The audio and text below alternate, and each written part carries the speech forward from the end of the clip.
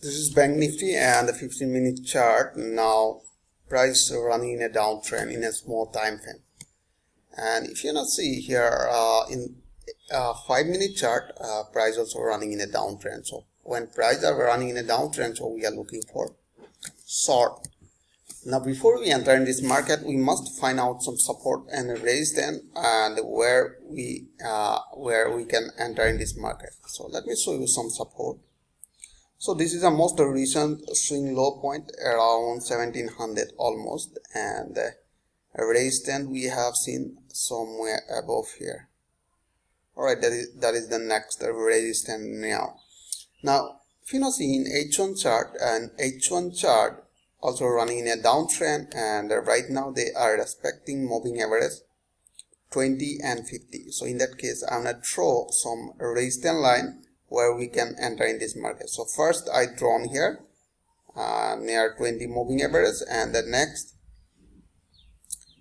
uh, this is called uh, 50 moving average why i drawn there? So you can see here uh, if you want to see previous market behavior price are bouncing from moving average 50 20 so that is why i drawn it. So let's just jump to small time frame like uh, 15 minute. Now check it the behavior of this market now you can see according to the market behavior we have seen some specific entry point. Uh, first uh, can see 50 somewhere here a little more above so uh, we have given some little more buffer. And then next uh, you can see price bounce from moving average 100 so let me let me drag this line to this uh, to this level. So here why drawn here because we have seen price are bouncing from this area. And now I can see here so we have seen some specific entry point.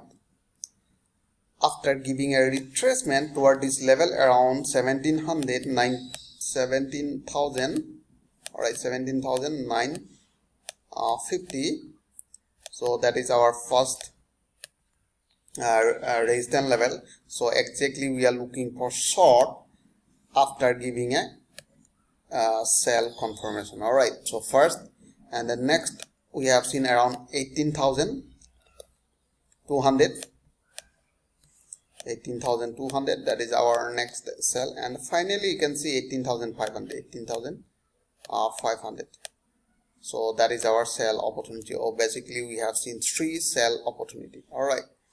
And if you see in a small time frame like uh, five minute how it will look like that in a 5 minute it should look like that first opportunity we have seen somewhere. Here right there are 200 exponential moving averages are there and we must wait to retrace uh, the price to this level. So that will be first sell opportunity. So i hope you enjoyed this video. If you like this video please like and subscribe. Thanks for watching